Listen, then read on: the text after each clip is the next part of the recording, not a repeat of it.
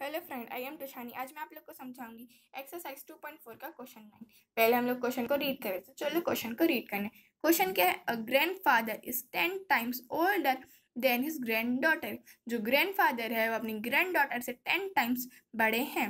He is also fifty four year older than her वह अपने granddaughter से fifty four year बड़े भी हैं। फाइंड देयर प्रेजेंट एज हमें उनका प्रेजेंट एज फाइंड करना है।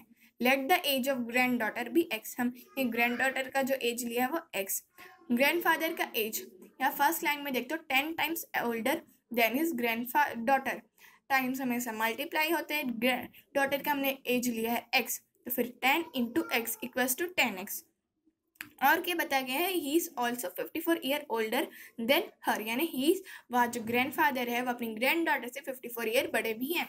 तो एक्स प्लस फिफ्टी फोर हमारे पास फिर इक्वेशन क्या आती है? Ten x equals to x plus fifty four तो हम एक्स वाली इक्वेशन को एक साइड भेजते हैं तो टेन एक्स माइनस एक्स क्योंकि इधर प्लस है तो इधर आके माइनस हो जाएगा।